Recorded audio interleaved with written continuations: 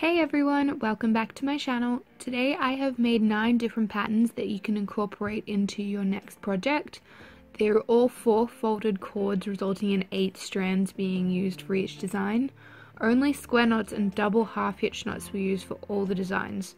So once you're confident using those basic knots, you will be able to make all of the designs that are in this video. Some can be a little tricky because the cords are used in different directions and in different orders, but if you take your time and follow along, you'll get there in no time. The biggest thing to remember when starting to make more complex designs like this is just to be patient with yourself.